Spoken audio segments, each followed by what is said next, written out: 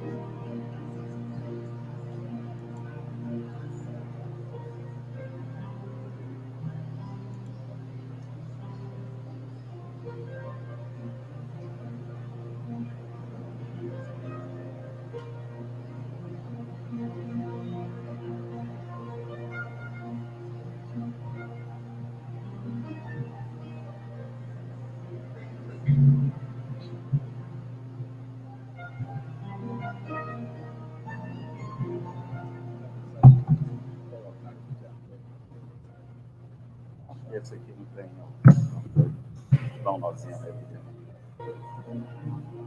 outro, o outro tem um conectorzinho.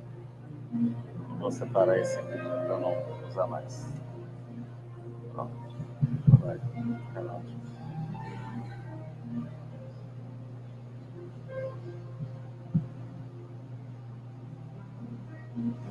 Perfeito. Ótimo. Já quer falar nele?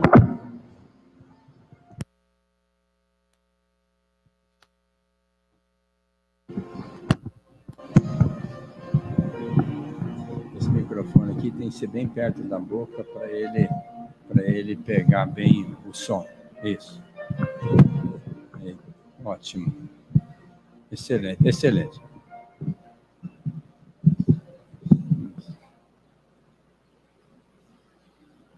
Por favor. Um bom dia a todos. Hoje, mais uma reunião que nós fazemos comemorativa desses 35 anos de existência da nossa casa e hoje abrilhantada pela presença do nosso amigo, irmão Nazareno Feitosa, que ele sem dúvida nenhuma, tem um acervo imenso para nos trazer. E hoje é, nós vamos aqui fazer a apresentação dele. Logicamente que isso é um mini currículo, mas é bom para que a gente saiba do trabalho que essa criatura faz. É, quantas criaturas se beneficiam pelas verdades exaradas, pela doutrina, pelas palestras, pelo exemplo desses é, dessas criaturas que saem lá, por exemplo, do Ceará, para vir aqui trazer esse presentaço para nós. Logicamente que nos bastidores, o intuito dele é nos esclarecer, nos incentivar, nos trazer informações que vão fazer diferença em nossas vidas. Então, a nossa gratidão a ele é irrestrita, porque não é fácil sair de longe para vir aqui e estar conosco, trazendo esta bagagem tão grande que ele tem. Trouxe vários CDs, DVDs que estão lá fora, que certamente são assuntos exarados pela sua fala, eh, pela sua, pelo seu trabalho, pelo seu exemplo. Então, ele, logicamente, estará lá fora conversando com vocês e vendendo CDs.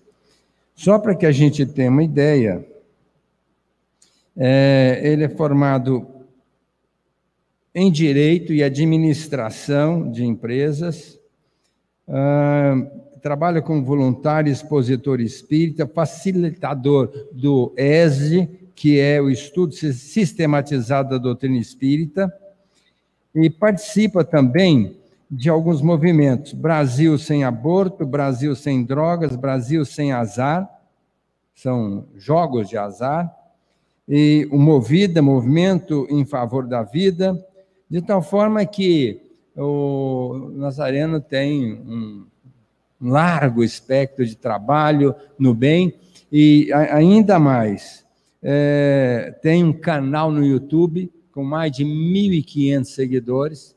Logicamente que a gente também pode acessá-lo através desse canal, Nazareno Feitosa, e, e aí nós vamos conhecê-lo melhor no seu trabalho que ele faz semanalmente através desse canal. Então, nós vamos envolvê-lo nas nossas vibrações de amor, de carinho, de gratidão, esperando dele a sua mensagem que vai diretamente ao nosso coração, para que nós possamos colocá-la em nossas mãos.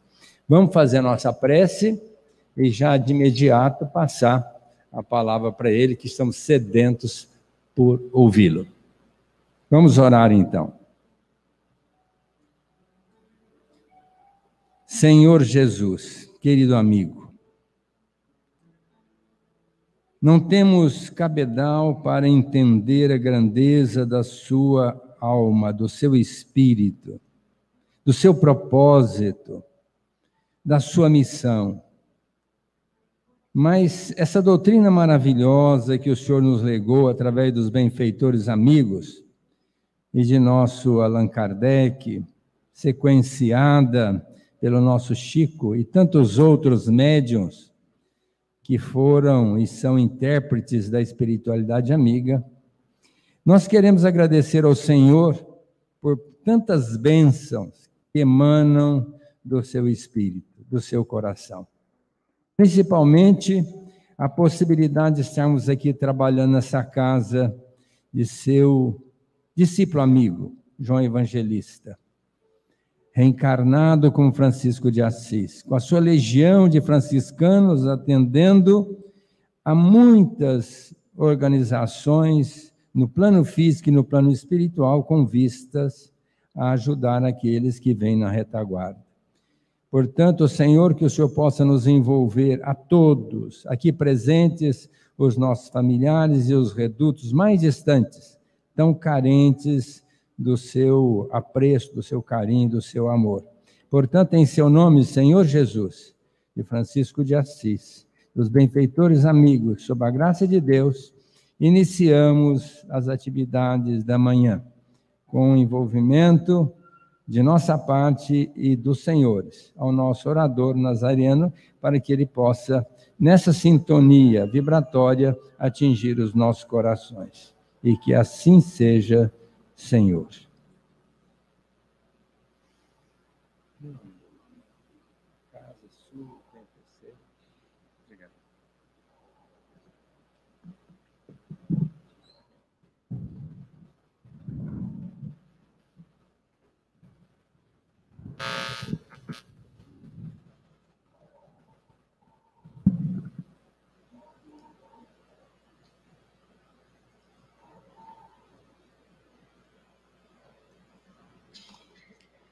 Eu vou precisar só da ajuda dos universitários, saber onde é que eles colocaram aqui o, a palestra. Está no pendrive mesmo?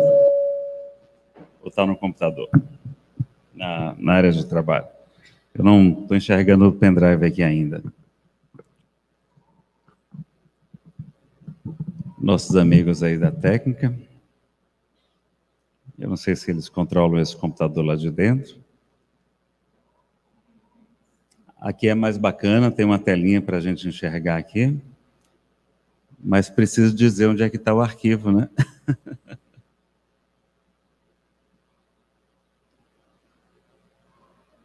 Não, não é o passador, é onde é que estava o arquivo que eu entreguei para vocês. Ah, está no pendrive agora? Não. Não apareceu aqui. Não.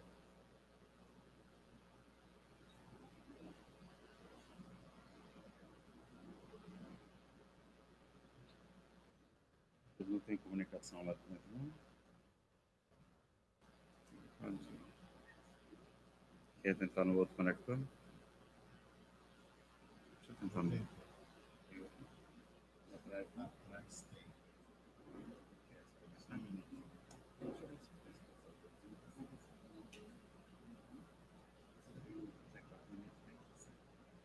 Não vai precisar. Muito pressa agora.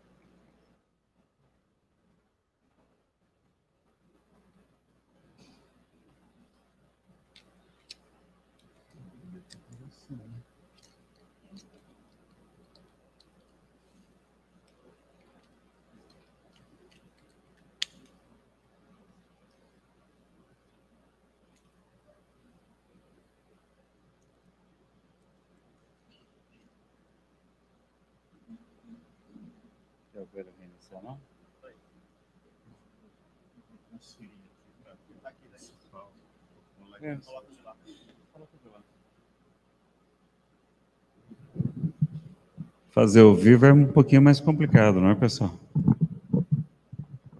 Mas os meninos aí são muito eficientes. A vibração de vocês, eu sei que é muito boa. Vamos ter fé.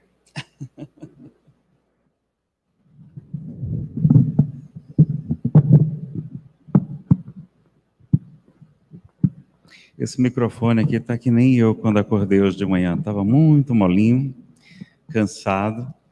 Eu fui fazer uma palestra em Birá ontem, fui muito bem recebido pela nossa querida Solange, os amigos. Está parecendo aqueles shows de palhaço. Né? foi muito bem recebido em Ibirá e nós também tivemos. E, e até eu recebi uma inspiração, assim, uma intuição de fazer, de lanchar antes de ir da palestra, mas era muito cedo. Era cinco e ainda da tarde, mas eu disse, não, vou, vou comer aqui um sanduíche, que eu sei que sai rápido, e assim que o restaurante abriu, que cinco horas, eles fizeram um sanduíche para mim com muita atenção. E nós lanchamos e fomos fazer a palestra. Eu não vou comer depois da palestra.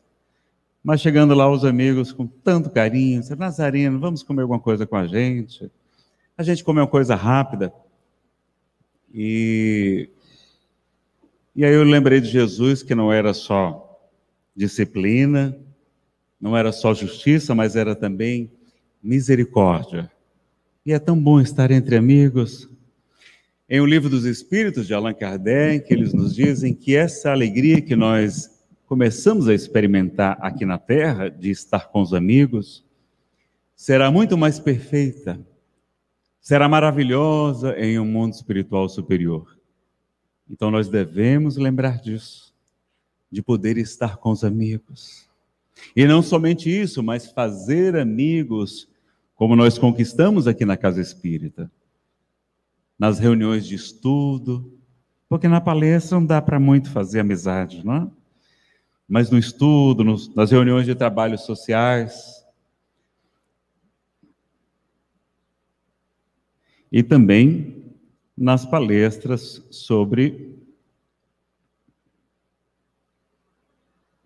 nas palestras sobre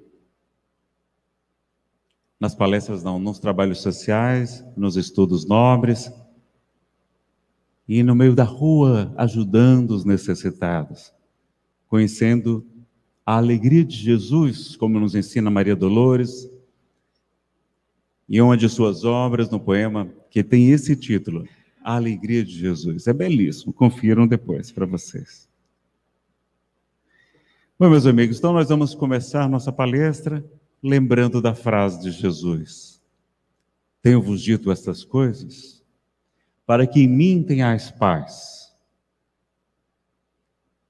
Não vos dou como dá o mundo, porque o mundo não é capaz de vos dar a paz.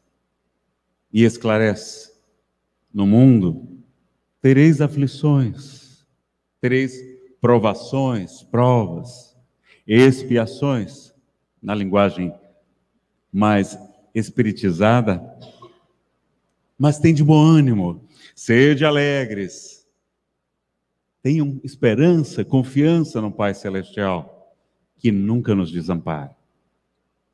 E por isso também estudaremos hoje, além da ansiedade, falar rapidamente sobre síndrome do pânico, também abordaremos a questão da providência divina, que mereceu do nosso codificador Allan Kardec um estudo aprofundado, que inicia em O Livro dos Espíritos, no Evangelho, ele dá prosseguimento, mas no livro A Gênese, os milagres e as predições, as profecias de Jesus, segundo o Espiritismo, ele faz uma análise detalhada da assistência de Deus em todos os momentos em nossas vidas.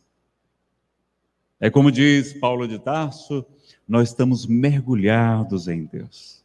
Nós vivemos em Deus. O fluido cósmico universal está permeado do amor divino, da sua assistência, que quando necessário uma intervenção mais específica, ele conta com a legião de anjos de espíritos familiares nossos que desejam o nosso bem. E quando precisamos passar pelas provas que vão ajudar no nosso adiantamento, ele também conta com aqueles outros mais atrapalhadinhos, aqueles menos evoluídos, aqueles a quem em outras vidas podemos ter prejudicado. E eles vêm nos ajudar. Porque na hora que eles vão nos obsediar, a gente fica desesperado e procura a igreja, o templo evangélico, o templo budista, ou a casa espírita, ou qualquer uma de, dessas muitas religiões nobres. Então, eles são nossos personal trainers. Eles são nossos professores particulares. É chique ter personal. Só pessoas chiques é que tem personal. Não? É? Então agora nós sabemos que nós também podemos ser chiques. Podemos ter personal trainers espirituais. Eu estou achando minha voz um pouco abafada. Acho que assim fica um pouco melhor, não é? Assim fica um pouco melhor? Sim? Não tenho esse vozeirão de Cid Moreira, não, viu, pessoal? O pessoal da técnica puder aumentar o agudo, acho que vai ficar um pouco melhor. Os agudos né, do som, os amigos muito queridos, tem uma turma dedicada, uma equipe profissional aqui. Eu quero parabenizar, viu, Agnaldo? Não só pela sua dedicação, pelo seu carinho à doutrina espírita, pela organização da casa, junto com toda a diretoria e as outras gestões também, mas também pela transmissão das palestras. Eu já conheço essa casa há muito tempo. Já sou seguidor do Agnaldo há muito tempo também. Toda vez que eu estou preparando um tema, eu saio para pesquisar. O que é que os outros palestrantes falam desse assunto?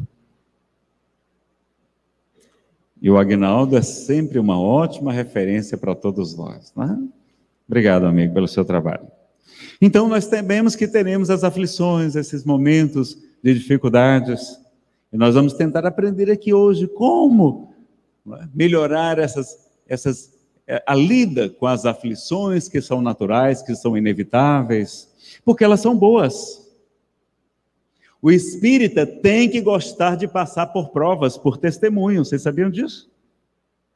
Quanto mais, melhor.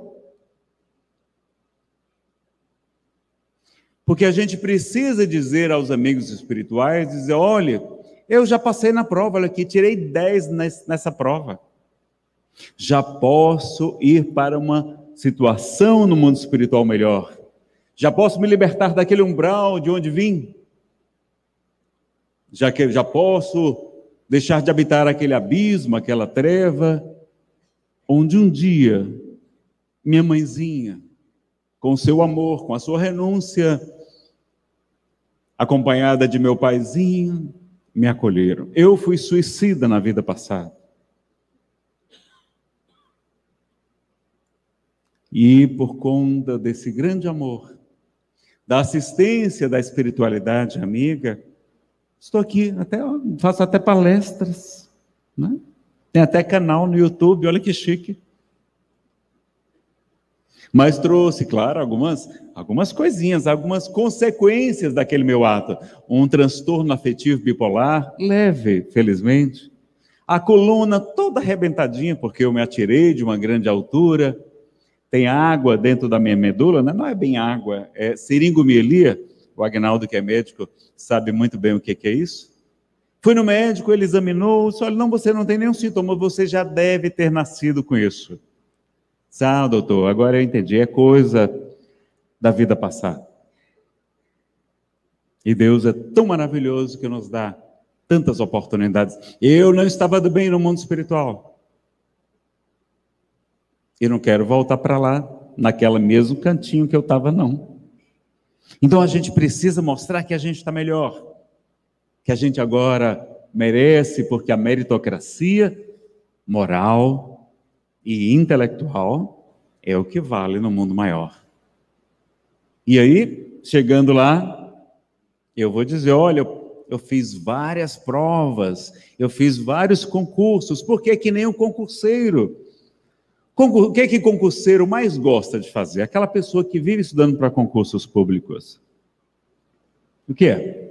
É passar num bom concurso, não é? Para ganhar mais, para morar na cidade, para poder voltar para São José do Rio Preto, essa cidade maravilhosa.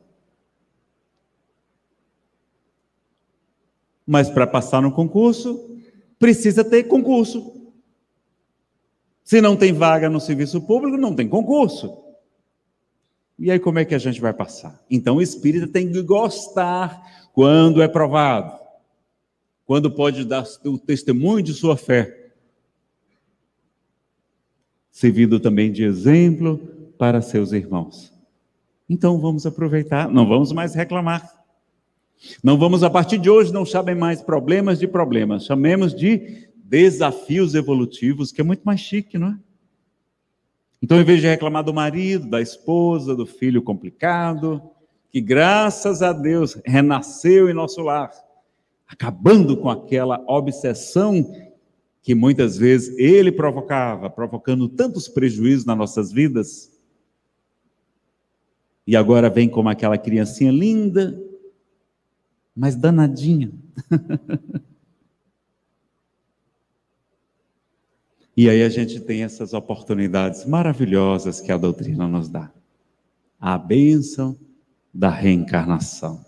Amai os vossos inimigos, dizia Jesus. Como é que a gente vai amar o inimigo? Vocês conseguem já?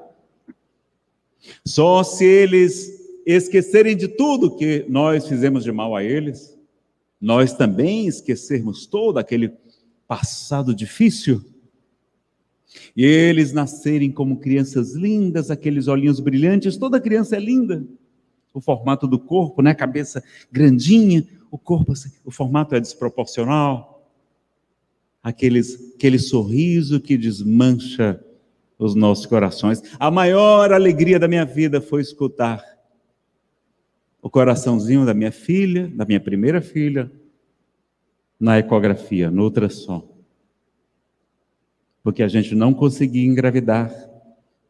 Compromissos nessa área também. É por isso que eu estou lá no Brasil Sem Aborto, ajudando, colaborando. Então vamos lembrar que a caridade cobre uma multidão de pecados. Como está na primeira epístola de Pedro 4:8, Pedro que foi o apóstolo mais próximo de Jesus, Jesus se hospedava na casa de Pedro.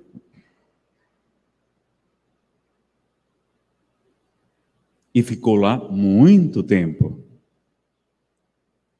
Para conseguir ficar mais tempo, ele agradou até a sogra, curou a, a sogra que estava com febre.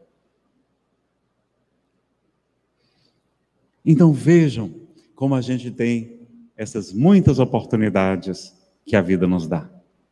Então vamos celebrar as provas, os concursos, os desafios evolutivos. Em vez de reclamar do marido, da esposa, do filho, o que é que nós vamos fazer? Fulana, quando encontrar os amigos, dizer assim: Fulana, olha, você não sabe o tamanho do desafio evolutivo que eu tenho lá em casa nessa encarnação.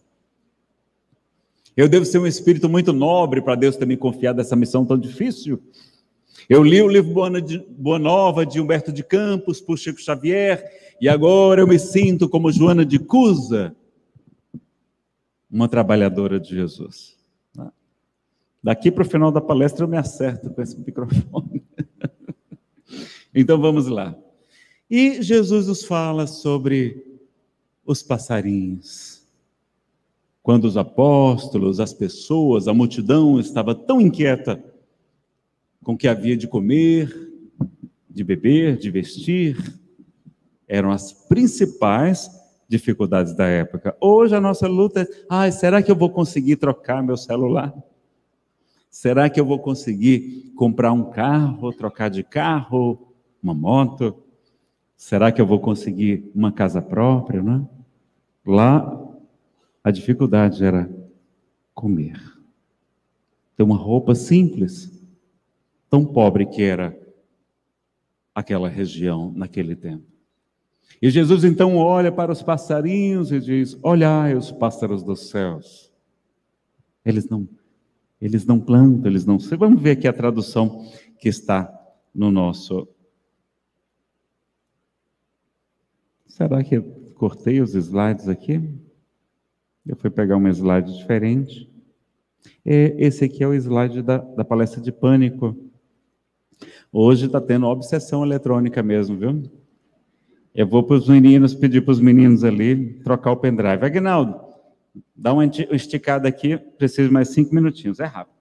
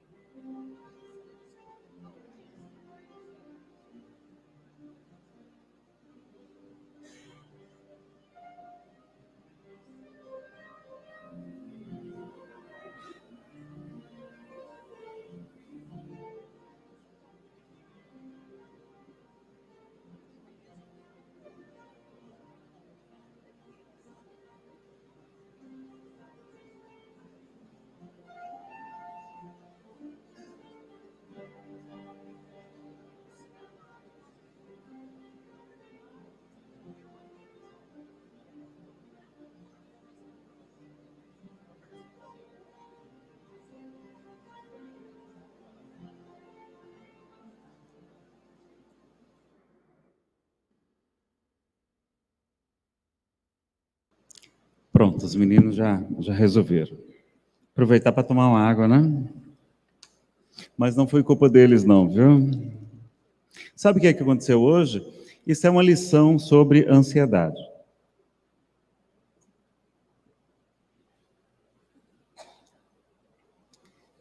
Uma das regras para a gente acabar com a ansiedade, qual que é? A disciplina. O Cristo de Deus, há dois mil anos, já nos ensinava que o vosso dizer seja sim, sim, não, não. Então a gente tem que ter limites. O que é que eu deveria ter feito ontem? Dizer, meus amigos, muitíssimo obrigado, mas eu preciso retornar para o hotel. Eu não dormi nada. Saí de Fortaleza uma e meia da manhã. Os voos para cá saem muito cedo. O voo saía três e cinquenta da manhã. Eu tinha que sair uma e meia de casa. Aliás, levantar uma e meia de casa. e ainda numa correria muito grande, porque estamos lançando o 21º Congresso Espírita do Estado de Ceará, e eu estou lá colaborando também na parte de comunicação. Então, estão convidados. 12 e 13 de agosto, nós teremos um congresso lá em Fortaleza, Congresso Espírita. Então, o que é que acontece? Eu devia ter quê? saído cedo, que eu não gosto de comer tarde para poder dormir melhor. Chegado no hotel, tomava um banho e descansava. Estava ótimo.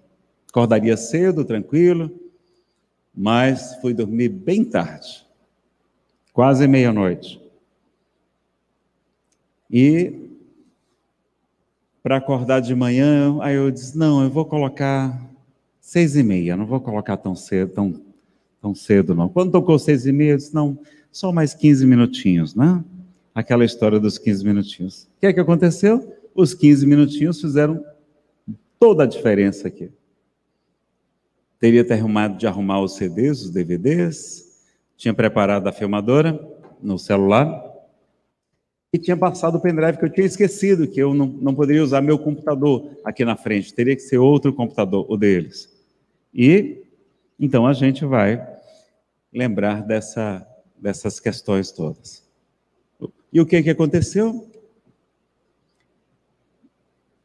Falta de disciplina, de dizer sim, sim, não, não. Muitas vezes nós, e aliás Jesus fala, porque tudo que ultrapassa dali provém do mal. Então, era para ter saído cedo, dormia bem, acordava cedo. Os 15 minutinhos seriam suficientes para resolver tudo aqui. Está fazendo falta, atrapalhando a palestra. Felizmente, palestra para mim já é um assunto mais tranquilo, não me deixa ansioso, como no passado. E aí a gente fica tranquilo. Então a disciplina vai ser muito importante. Acordar cedo, chegar cedo. Meu pai disse assim: Neno, você deveria vender o carro, o, pneu step, aquele pneu sobressalente do, do carro. E eu disse: Por que, papai? Eu vou vender porque você não acredita que pneus furam, você só chega em cima da hora dos seus compromissos, os seus pneus não devem furar. Pneus furam. A gente bate, né? Um dia desse, um motoqueiro distraído no celular acabou batendo no carro que eu estava. Felizmente ninguém se machucou. E então, sair cedo, acordar cedo, chegar com antecedência. Isso vai fazer muita diferença no nosso dia a dia. A gente vai sentir bem, vai ficar sentindo até europeu, porque os europeus são muito rigorosos nos horários, e a gente faz a nossa parte. Chega cedo e tudo fica melhor. Né? Chega cedo, conversa, confraterniza com os amigos queridos. Então precisamos lembrar da disciplina. Disciplina do sim, sim, não, não, como o mestre nos ensina. Né? E Jesus também falou da renúncia, das provas, olha lá. Aquele que quiser vir após mim, renuncie a si mesmo, ou seja, esqueça um pouco de você. pense também nos outros, porque o egoísmo é justamente isso, é o nosso ego como centro do universo. Só eu que importa. O bem que eu faço é somente para mim e para minha família. Não. Isso não é bondade, ainda é egoísmo. O bem que a gente tem que fazer deve ser para todos. Renuncie a si mesmo. Tome a sua cruz, as suas provas, as suas expiações, o seu marido difícil, a esposa complicada, a sogra muito amorosa. Com a, com a esposa, né? Com a gente não, com a esposa. Brincando. A sogra da minha esposa é maravilhosa. A sogra da minha esposa é a mulher mais fascinante que eu já conheci. Uma brincadeira só para descontrair, né? A sogra, são mães. Qual a mãe que não ama o filho, que não quer o melhor para o filho, para a filha? Vamos lembrar disso, né? E segui-lo, ou seja, fazer o que ele nos ensinou, né? Então, naquele momento que os apóstolos perguntavam, ele disse: Olhai os pássaros do céu. Não, é? não acumuleis tesouros na terra, onde a ferrugem os vermes os comem, e onde os ladrões os desenterram e roubam acumulai tesouros no céu, onde nem a ferrugem nem os vermes o comem, porque onde está vosso tesouro, aí está também o vosso coração. Muitos de nós desencarnamos, ficamos presos aos bens materiais, à família, à esposa, e não nos libertamos rapidamente para lugares melhores, condições melhores de consciência no mundo maior. Eis porque vos digo: não vos inquieteis por saber onde achareis o que comer para sustento da vossa vida, nem de onde tirareis veste para cobrir o vosso corpo. Não é a vida mais do que o alimento, e o corpo mais do que as vestes, do que as roupas? Olhai os pássaros dos céus. Não semeiam, não ceifam, não guardem celeiros, mas vosso Pai Celestial os alimenta. Não valeis mais, muito mais do que os pássaros? E qual dentre vós o que pode, com todos os seus esforços, aumentar de um côvado a sua estatura ou acrescentar uma hora em sua vida? Pelo contrário, a gente morre mais cedo por conta da ansiedade. Prejudicamos os nossos centros do organismo, o nosso psiquismo. Certamente não deve ser bom para a pressão arterial, né? Então vamos lembrar do conselho de Jesus. Porque também vos inquieteis por que eis de comer e de vestir? Olhai como crescem os lírios do campo. Não trabalham nem fiam. Entretanto, eu vos declaro que nem mesmo Salomão, em toda a sua glória, jamais se vestiu como um deles. Se o Pai veste assim a erva, que hoje nasce, amanhã mesmo será lançada ao fogo, quanto mais a vós, que sois seus filhos amados então a gente sai, porque Deus sabe que tem necessidade dessas coisas, não é? Então, Jesus lembra disso, tá? E quando Jesus, quando Chico Xavier estava sofrendo muito certo dia, o sofrimento, Chico passou por muitos testemunhos. Testemunhos são aquelas provas decisivas. Ele, desesperado, pediu a Emmanuel um conselho da Senhora, de Maria de Nazaré, porque ele tinha uma, um carinho, uma devoção muito grande também, não só ao Cristo. O mensageiro retornou com o recado: Chico, a Senhora mandou te dizer que isso também passará. Está lá no livro Boa Nova de Humberto de Campos também. Maria, no, no, depois da, da crucificação de Jesus, ela vai com João morar com ele e vai atender muitos aflitos, falar das claridades do Evangelho, da boa nova, do mundo de regeneração que nos aguarda. E ela costumava dizer: Meu filho, isto também passará. Hã?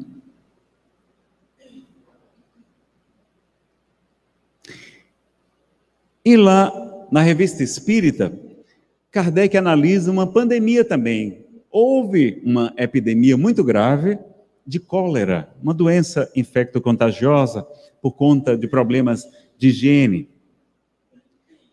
Foram 15 anos, inclusive muitas vítimas, eu acho que foram 12 milhões de vítimas, muito mais do que a Covid, não é? E os espíritas de Constantinopla escreveram para Kardec, mas Kardec, olha, está tendo a epidemia aqui na cidade, mas todos os espíritas estão bem. Será que a gente está sendo preservado? Será que é porque a gente é espírita? E Kardec disse: Meus filhos, não existem privilégios. Privilégio normalmente demonstra uma injustiça. Se Deus só ajudasse os espíritas, ele não seria justo com os católicos, com os nossos irmãos das igrejas reformadas, os protestantes, evangélicos, etc. Então ele ajuda igualmente a todos. O que pode estar fazendo diferença, que vai ajudar na nossa ansiedade, no combate do medo, o que, que é? É que a doutrina espírita nos dá uma força moral, que auxilia a nos preservar das doenças e da ansiedade. Kardec expressamente fala que devemos seguir as medidas sanitárias e ressalta a importância de quê? Da serenidade e da oração serenidade, que é o contrário da ansiedade. Então vamos lembrar do conselho do nosso codificador. Não somente isso, o Dr. Demur, numa psicografia, ele já estava no mundo espiritual, vai dizer que a gente deveria ter, dar muita importância à higiene, de evitar os resfriados, né? na época do cólera, porque a imunidade certamente vai ficar comprometida, de evitar o quê? O medo, porque a ansiedade é fruto de quê? Do medo. Do medo de não dar certo, de medo de não chegar a tempo, de não conseguir resolver aquele problema. Melhorar o temperamento espiritual, ou seja, os pensamentos, as emoções, as palavras e as ações também, certamente. Não é? E o medo é algo tão grave que na revista Espírita, também de outubro de 58, a outra foi na de novembro de 65, Kardec vai trazer um artigo, vai publicar um artigo de um médico, isso foi publicado na imprensa, um médico que ele colocou somente a insígnia, doutor F. Diz que ele foi atender um paciente muito grave, o paciente recuperou-se, ficou tão feliz que presenteou o médico com uma garrafa de rum, uma bebida alcoólica de expressivo valor. Ele colocou na carruagem, foi para sua casa, na hora de descer da carruagem, esqueceu da bebida alcoólica que havia ganhado. Graças a Deus, né? Mas ele queria ficar com presente. Quando recordou-se, foi até o chefe dos cocheiros lá no estacionamento. Né? Eu não sei se tinha engarrafamento, mas tinha estacionamento de carruagens lá em Paris. E ele disse: Olha, eu ganhei uma garrafa, eu coloquei uma garrafa, esqueci uma garrafa no, na carruagem de um veneno muito poderoso. Avise a todos os cocheiros que se eles não bebam, porque podem inclusive falecer. Ele retornou para sua casa. Duas horas depois chegaram três cocheiros, passando muito mal. Um quase que para desencarnar. Ele teve muita dificuldade para dizer para eles que aquilo era só uma brincadeira, uma historinha para poder reaver a garrafa de rum, que na verdade era um rum de ótima qualidade. Mas a força do pensamento. É chamado efeito placebo pela medicina, mas não é, o nome está errado. É efeito fé que faz a diferença. Se nós tivermos a fé que Jesus nos fala, nós vamos enfrentar a ansiedade com muito mais tranquilidade. É? Então vamos lá. A ansiedade, então, é reação biológica útil e natural. A gente precisa da ansiedade. Ela nos ajudou a nos preservar. Ela é fruto do instinto de autopreservação. Quando a gente via um perigo, um animal perigoso, uma tribo inimiga vinha invadir a nós, o que é que nós precisávamos? De adrenalina. Esse hormônio, o cortisol, também, para que o quê? Para colocar o nosso corpo pronto para a batalha ou para fugir. Então, a reação de luta e fuga que a medicina fala, não é? Para nos fortalecer. Só que o que acontece? Hoje em dia, a gente fica em casa, a gente não, não corre, não, não foge, não luta, não faz atividade física e ficamos lá, passamos o dia, muitos de nós, com trabalhos e uma vida extremamente sedentária. Vemos os problemas, assistimos à TV, a internet, os noticiários, que normalmente publicam principalmente tragédias, problemas, corrupção, assassinatos, roubos, abandonos, violência sexual. Assistimos tudo aquilo, ficamos impressionados, ficamos preocupados, não temos a disciplina e ficamos ansiosos. Não corremos nem lutamos, nem vamos fazer atividade física, que é muito importante no combate da ansiedade. E aí ficamos com, às vezes, com um transtorno da ansiedade generalizada. Ela fica tão alta que ela pode ser classificada como um transtorno mental, não é? Por causa do excesso e da constância. Todo dia a mesma coisa, todo dia a gente é ansioso. Tá? Então, a gente vai ficar com medo, se preocupar, sofrer, irritar-se, ter insônia e adoecer. Né? Alguns sintomas aqui da, da TAG. Pensamento acelerado. Vamos ver onde é que vocês se enquadram aí. Fadiga, insônia, né? dizem que uma noite mal dormida reduz a imunidade né, do corpo. Tensão muscular, dores no corpo, nas, na cabeça, nas costas, diminuição da libido, do, do, da vontade de namorar, lapsos de memória, descontentamento, irritação, desmotivação, cansaço mental, queda de cabelos. Estão, olhando para mim, né? Queda de cabelos, gastrite, esofagite, azia, digestão, aftas e até a depressão secundária no caso da, do síndrome do pânico, que a pessoa fica com pânico até de sair de casa e porque não sai de casa, não tem alegria de encontrar os amigos, de poder trabalhar, que é terapia para nós. Muita gente, quando aposenta, cai em depressão, achando que vai ter uma vida maravilhosa, e ao contrário, vira jaquetu. Você sabe o que é jaquetu? Já que tu está aí aposentado sem fazer nada, vai pegar os netinhos na escola. Já que tu está aí à toa, vai fazer as compras do supermercado. A gente vira mordomo da família. Então, vamos aposentar, mas é para trabalhar aqui no Francisco de Assis, não é? para não virar jaquetu, né? não vamos virar jaquetu, não. Vamos ajudar também a família, é claro, não é? Então, a gente lembrar disso. Só que a pessoa não consegue, o pânico não deixa ela sair de casa.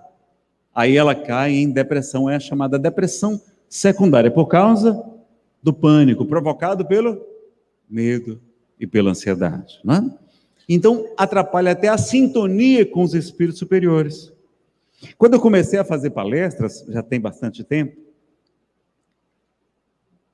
eu, por conta do orgulho, ou seja, aquela, aquela crença que a gente é superior a muitas pessoas, a vaidade intelectual, aquela preocupação de agradar a todos, não poder suportar críticas, não saber lidar com as críticas direito. Eu era muito perfeccionista, né? E aquilo, claro, gera frustração, gera desmotivação, irritação. Chegava na hora da palestra, tentava decorar tudo o que precisava falar, e estava tão ansioso, tão estressado, que às vezes naqueles momentos em que aquele público precisava de um recado diferente, precisava que eu abordasse determinado trecho do Evangelho, os espíritos tentavam me inspirar e não conseguiam. Aí o nosso orientador espiritual, Samuel Lucas, disse: Meu filho, você está atrapalhando a nossa assistência por causa da ansiedade, do perfeccionismo. E aí eu fui trabalhar esse orgulho, essa vaidade intelectual, né? e parece que melhorou, melhorou bastante. Aliás, muita gente nazarena, as suas palestras melhoraram tanto de, de um tempo para cá. Eu disse, ai, que maravilha. Eu acho que é porque agora eu estou podendo ser ajudado, deixar-me ser ajudado. Porque sabem, por aqueles que sabem mais do que nós, né? Então, a causas da, da TAG, transtorno ansiedade generalizada, pode ser obsessão, pode ser influência espiritual negativa, daí a importância da frequência em uma casa espírita, em uma igreja, buscar o tratamento espiritual que a casa oferece, o estudo nobre, que é proteção contra os espíritos inimigos, e, sobretudo, a prática do bem, como nos diz o livro dos médiuns, que a melhor maneira de afastar os maus espíritos é atrair os bons pela prática do bem. Então, ajudar a casa espírita, ser voluntário, aqui, ali, na biblioteca, na livraria, no equipamento de som. Precisa de voluntário aqui, Agnaldo? Cadê ele? Vera, precisa de voluntários aqui na casa? Está sobrando emprego e o salário é maravilhoso. Então venham para cá, né? Trabalho voluntário. E é fruto também a tag do orgulho, é? porque dificulta o tratamento psiquiátrico, a pessoa não quer buscar um médico. Ah, não, eu sou espírita, eu não vou fazer, tomar remédio psiquiátrico, não. Isso é correr de doido, eu não sou doido. Quem tem diabetes não deve tomar a medicação? Precisa, não é? Quem tem pressão alta não tem que usar também diariamente um antihipertensivo? Precisa. Quem tem depressão vai deixar-se levar para o fundo do poço ou até tirar sua própria vida? 90% dos casos das pessoas que tiraram suas vidas cabia um diagnóstico de um transtorno mental que tinha tratamento médico. Que tem tratamento médico. 90% dessa tragédia dessa grande pandemia que a gente não fala muito, não é? Então, a gente buscar sim, se a gente está com ansiedade generalizada, conversar com o médico, um psicólogo, a depressão também. A minha psiquiatra, e tem trabalhos publicados, científicos, dizendo que uma boa psicoterapia funciona tanto quanto os remédios na depressão leve. A atividade física também, a minha médica disse, porque eu tenho um transtorno afetivo bipolar. Ela disse, Neno, se você fazer uma prática, uma prática de atividade física aeróbica, eu reduzo o seu medicamento pela metade. Se você fizer uma boa psicoterapia, eu tiro mais um tanto. Olha, eu ia até economizar se eu visse mais a minha médica, não é? Eu faço, mas podia estar fazendo mais. Né? Então, a vaidade, que também é querer agradar a todos, não saber dizer não, a falta de limites, lembrando que Jesus tinha limites. O Mestre nos ensinou isso também. Quando ele veio à Terra, ele determinou: olha, vou, a minha missão aqui pública vai ser em torno de três anos, é o que se calcula. E eu vou pregar para os hebreus. Essa era a missão de Jesus. Quando a mulher cirofenícia, que ela não era judia, vai pedir a Jesus que cure a sua filha que estava doente, o que é que ele vai dizer? Mulher, eu não vim senão para as ovelhas desgarradas de Israel. Ou seja, eu vim pregar para os hebreus, para os samaritanos. Quem vai falar, quem vai ajudar vocês vai ser Paulo, vai ser Pedro, vai ser Tiago. Essa turma boa que eu vou deixar aqui. Mas o que é que ela diz? Aí ele dá um, aí ele fala um ditado popular. E não é justo tirar o pão da mesa dos filhos para dar aos cachorrinhos. Mas ela lhe roga, mas Senhor, até os cachorrinhos comem as migalhas que caem das mesas dos filhos. E ele, como não era somente justiça, era também misericórdia. É lei de justiça, amor e caridade. A lei de justiça em O Livro dos Espíritos, a mais importante, a justiça nunca está separada da caridade, da compaixão, do amor. Justiça, amor e caridade. E ele diz: mulher, grande é a tua fé, seja feito conforme tu crês. E cura a filha dela, não é? Então, a gente aprender com o mestre é ter limites, vamos ajudar, mas vamos ter limites também, tá? Para a gente não ficar sobrecarregado. A preguiça, aí leva à procrastinação, a gente fica adiando tudo constantemente, deixa tudo para amanhã, para amanhã, não, isso é que eu faço amanhã. Isso atrapalha, porque vai acumulando pendências, não é? Isso diminui a nossa energia também, do psiquismo. A demora na busca de tratamentos, a falta de atividade física, diminui o tônus muscular, provoca mais fadiga. Tem estudo científico mostrando que quem começa uma atividade física tem mais disposição do que quem não faz nada. Quanto mais descansa você, mais você fica cansado.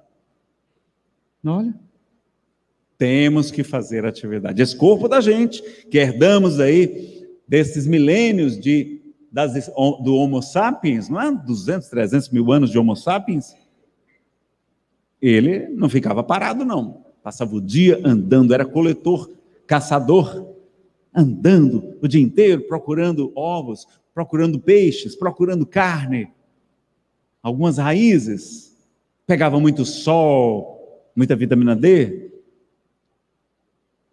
E a gente não está lembrando disso, não é? O materialismo, que é o apego, né? Os, os, budistas dizem que a primeira causa de sofrimento, né? a maior causa de sofrimento, é o apego àquilo que é transitório. A inveja também vai provocar um pouquinho de ansiedade o desconhecimento das leis que regem o universo, a falta de consciência que somos espíritos imortais e que nós só morremos no momento correto, programado. Em um livro dos Espíritos, na questão 853, anotem, 853. Kardec está estudando sobre a fatalidade. E os Espíritos dizem que a gente só morre na hora programada. E diz a Kardec que nós temos muitas provas disso, e é verdade. Tem pessoas que levam vários tiros de arma de fogo e não morrem. Outro tropeça, bate a cabeça e retorna ao mundo maior. Então só morre na hora certa. Mas aí Kardec, na 853, ah, que também é importante vai questionar: ah, então só, se a gente só morre na hora programada, são inúteis as precauções que a gente fala para a pessoa? Eles dizem: não. As precauções que vos são sugeridas são para justamente você só morrer na hora certa. Tem que ouvir as, os conselhos né? dos amigos, dos médicos, da espiritualidade, tá? Pode ser também sensibilidade mediúnica, Lá no livro A Gênese, Kardec fala sobre aquela profecia de Joel, que também está em Atos dos Apóstolos, dizendo que o Senhor derramará sobre uh, o seu espírito sobre toda a carne. Vossos filhos, vossas filhas profetizarão, ou seja, darão comunicações mediúnicas. Vossos velhos terão sonhos, vossos jovens visões. Até vossos servos profetizarão, ou seja, nessa transição planetária, mudança de mundo de expiação e provas para um mundo muito melhor, mundo de regeneração, parece que nós estamos mais sensíveis à influência dos espíritos. Nós já tínhamos depressão no passado, tínhamos sim, a melancolia, mas nunca como hoje. Pessoas tiravam suas vidas antigamente, sim, mas infinitamente menos do que nos dias de hoje. As pessoas tinham problemas de dependência química com álcool, com ópio e outras drogas? Sim. Mas nunca tivemos tantas pessoas sofrendo da tragédia da dependência química. Então será que não é a profecia de Joel se cumprindo entre nós? Então vamos buscar frequentar uma casa espírita, colaborar, estudar, fazer o culto do Evangelho no lar, uma vez por semana, 20 minutinhos. É tão simples. A minha esposa se tornou espírita graças ao culto do Evangelho no lar. Eu comecei a fa fazia sempre, chamei ela para participar um dia, e as lições de Jesus, iluminadas pela interpretação de Allan Kardec e dos espíritos nobres, são encantadoras. Ela se fascinou e fez até o estudo sistematizado da doutrina espírita depois, se tornou uma trabalhadora também, e, sobretudo, é, dedicada à família. O excesso de estimulantes, a gente toma hoje muitos refrigerantes que têm muita cafeína, alguns chás também energéticos. A gente ainda toma energéticos que são bombas de cafeína muitas vezes. Então a gente tomar cuidado com o excesso da cafeína, não é? A eclosão da mediunidade, às vezes você tem essa faculdade abençoada. Quando perguntaram a Chico Xavier, Chico, qual é a sua maior alegria? E ele respondeu: A minha maior alegria é ser médium, é poder ajudar todos os meus irmãos do lado de cá e do lado de lá. É ser amparado pelos espíritos nobres. E diante dessa compaixão imensa, amparar também os meus irmãos pequeninos. A sua maior alegria era ser médium. Então vamos aproveitar esse tesouro, essa ferramenta que está à nossa disposição. É?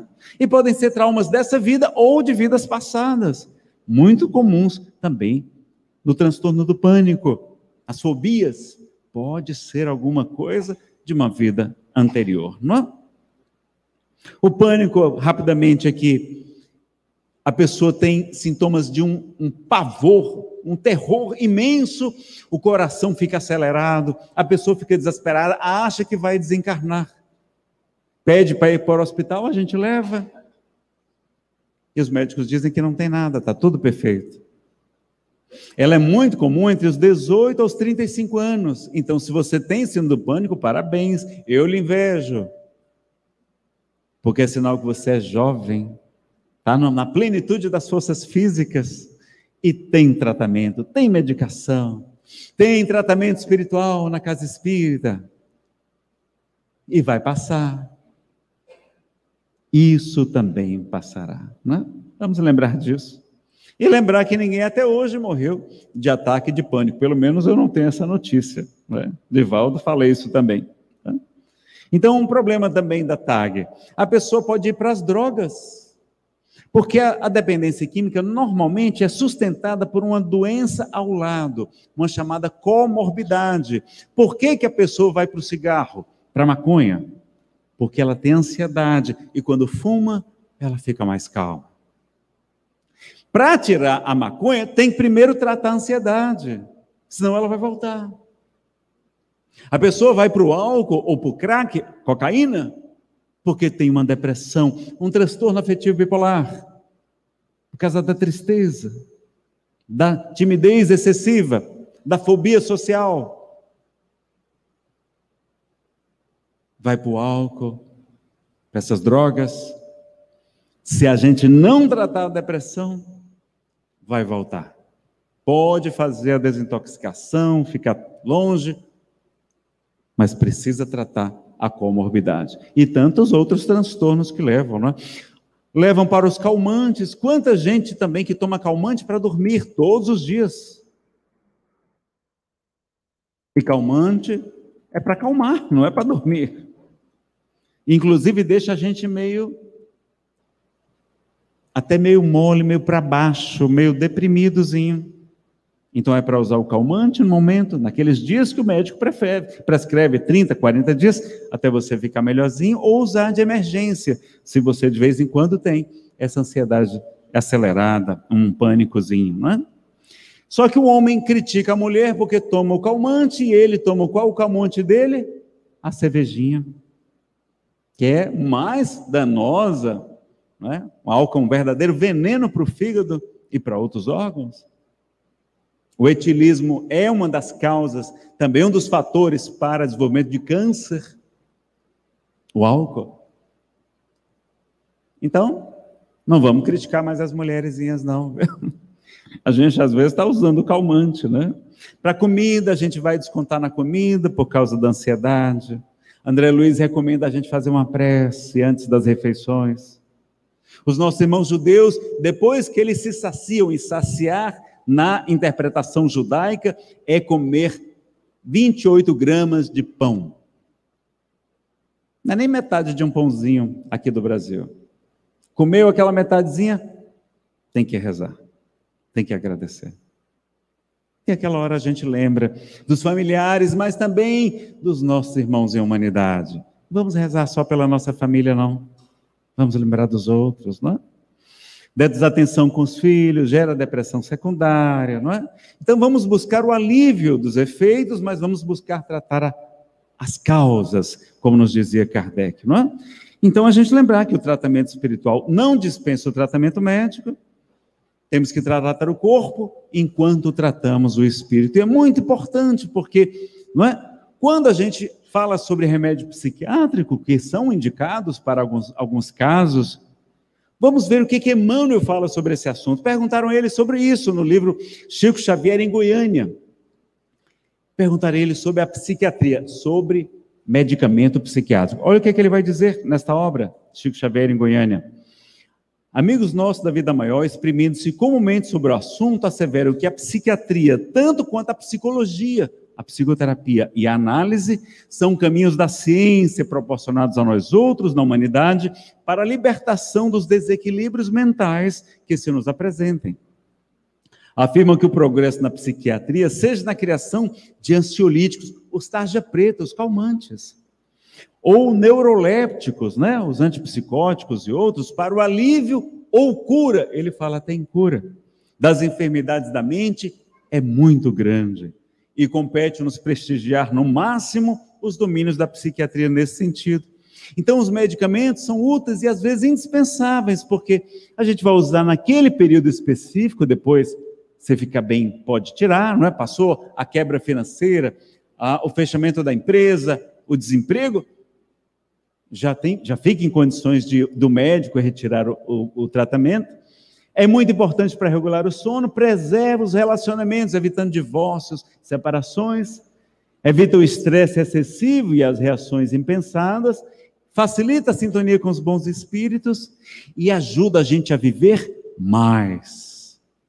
Não provocar uma espécie de suicídio indireto por não cuidar direitinho do nosso corpo.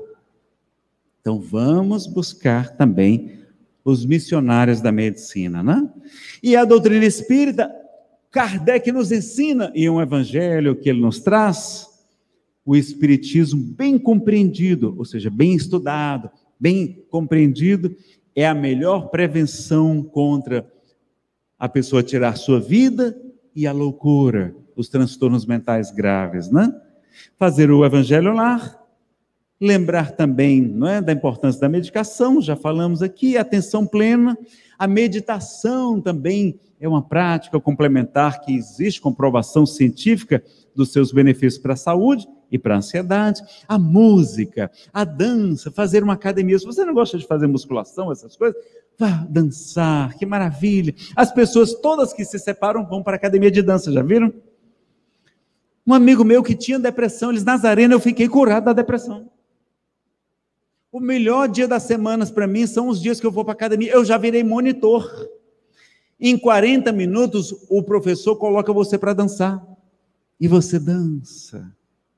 E a música, o contato com as pessoas, a alegria de estar e fazer amigos. A alegria de Jesus. Então, vamos lembrar de tudo isso, né? Então, a atividade física, a yoga, etc., que o Pilates, em acupuntura também tem benefícios.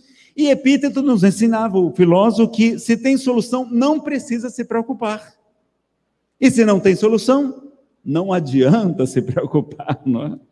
Então, se tem, não precisa se preocupar. Se não tem, também não adianta. Então, não se preocupe diante dos problemas, não é? Então, a gente lembra também da, da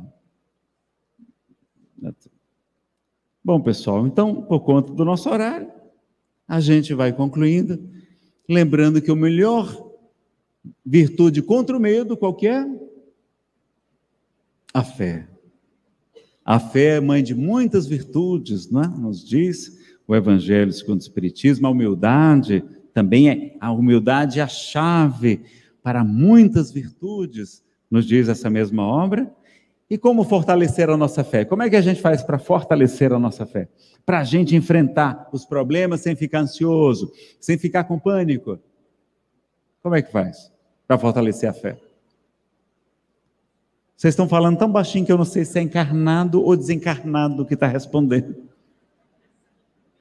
Oração ajuda, mas não é o melhor remédio, não. Hã? O conhecimento, né? Então, o estudo nobre. Conhecereis a verdade, a verdade vos libertará. Vamos estudar essas obras maravilhosas de Allan Kardec para fortalecer a nossa fé, para a gente se melhorar, né? O conhecimento, o autoconhecimento também é a experiência. À medida que a gente vai enfrentando os problemas, a gente lembra que já teve problema no passado e já conseguiu superar, não é? Então, lembrar da meditação, a Associação Médico Espírita do Brasil tem um livro também publicado sobre meditação e há seminários lá do projeto Manuel Filomeno de Miranda, da Mansão do Caminho, onde é, trabalha o nosso querido Divaldo Franco. E Jesus não nos explicou com tanta clareza, não está escrito, vós sois deuses? Está lá no Salmo 82, vós sois deuses e filhos do Altíssimo, todos vós, né? Deus com D minúsculo, nós somos filhos de Deus. André Luiz Peixinho, o grande filósofo da doutrina, ele vai dizer que nós somos divinos, porque somos filhos de Deus. E o filho terda as características do Pai. Nós somos também divinos né? com letra minúscula. E ele nos ensina também, na verdade, na verdade vos digo, que aquele que crê em mim, olha a fé, também fará as obras que eu faço e as fará maiores do que estas. A importância das obras. E a gente, para fechar, vós sois o sal da terra, a luz do mundo. Brilhe a vossa luz e resplandeçam as vossas boas obras diante dos homens, para que eles glorifiquem a Deus, nosso Pai que estás nos céus, as boas obras. Vamos lembrar do trabalho no bem. E quando a gente estiver aflito, ansioso, preocupado, desesperado, perdendo a nossa fé, vamos lembrar do poeta sergipano, espírita José Soares Cardoso, do livro de mesmo título, vai nos ensinar onde está Deus. Onde está Deus? pergunta o cientista. Ninguém ouviu jamais quem ele é. Responde às pressas o materialista: Deus é somente uma invenção da fé. O pensador dirá sensatamente: Não vejo Deus, mas sinto que ele existe. A natureza mostra claramente em que o poder do Criador consiste. Mas o poeta dirá com segurança, de quem afirma porque tem certeza: Eu vejo Deus no riso da criança, no céu, no mar, no rio preto, na luz da natureza, contemplo Deus brilhando nas estrelas, no olhar das mães fitando os filhos seus, nas noites de luar claras e belas, que em tudo pulsa o coração de Deus. Eu vejo Deus nas flores e nos prados, nos astros a rolar pelo infinito. Escuto Deus na voz dos namorados e sinto Deus na lágrima do aflito.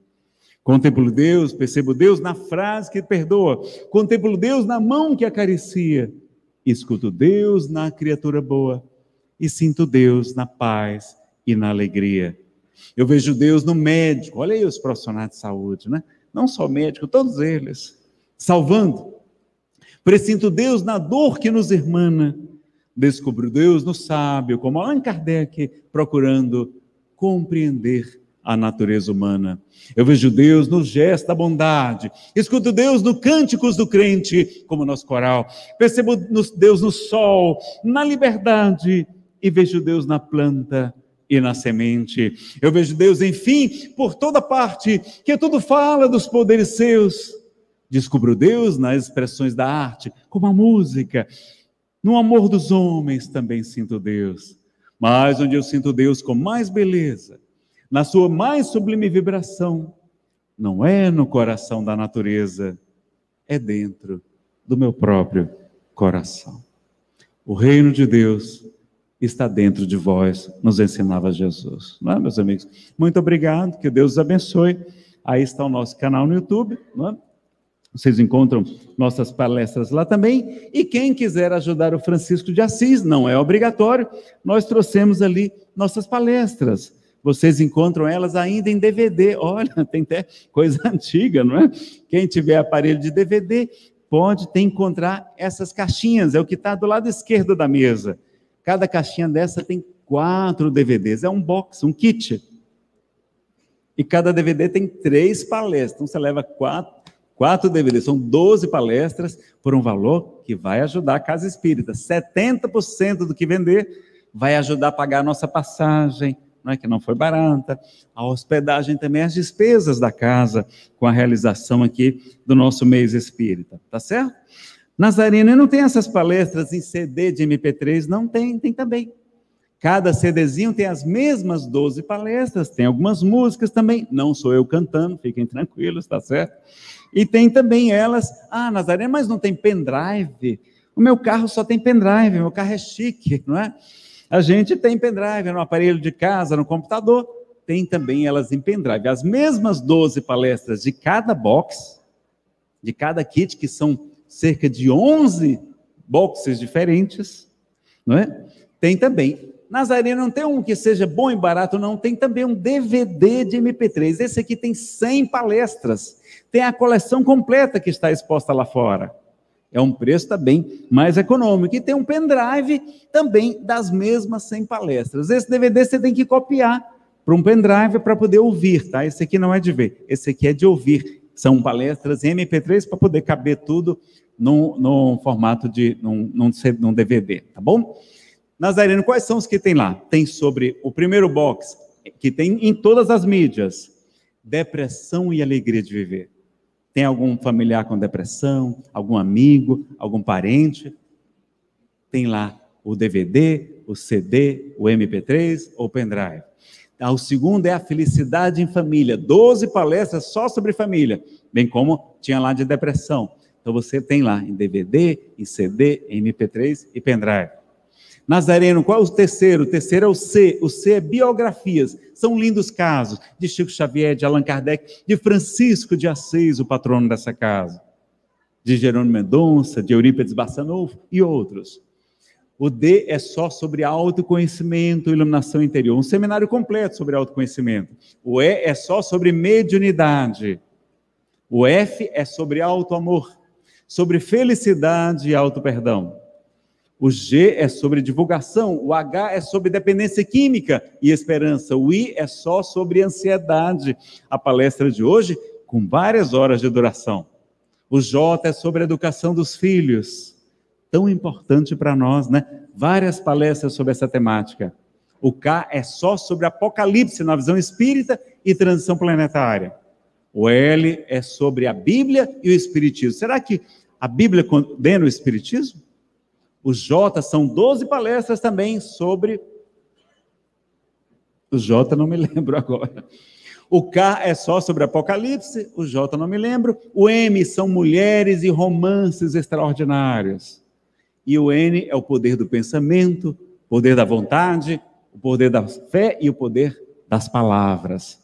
Bem interessante também, tá? E quem quiser levar o conjunto com todos esses boxes, esses kits, lembra que tem um DVD de 100 palestras e tem um pendrivão de 100 palestras também, tá joia? A gente agradece todo o carinho de vocês, a paciência e que Deus nos abençoe a todos, meus amigos. Muito obrigado por vocês terem participado aqui de mais uma palestra desse mês de aniversário de 35 anos do Francisco de Assis.